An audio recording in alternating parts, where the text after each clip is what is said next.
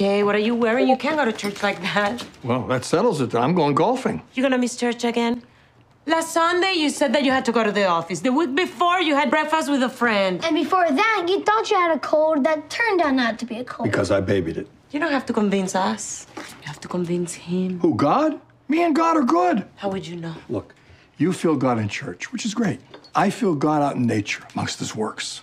Are you gonna go to church next week? We'll see. I know what we'll see means. If you're done with church, just say it. I'm done with church. Say that!